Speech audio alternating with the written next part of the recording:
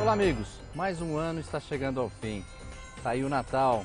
Comemore o Natal, aproveite com seus familiares. Aqui na Assembleia Legislativa estamos encerrando os trabalhos, mas com a certeza aí de que foi um ano produtivo para todos nós. Muitas mudanças no Brasil e é momento agora de estar com seus familiares, de viver intensamente cada momento, de se renovar. Boas festas, bom Natal e um grande abraço.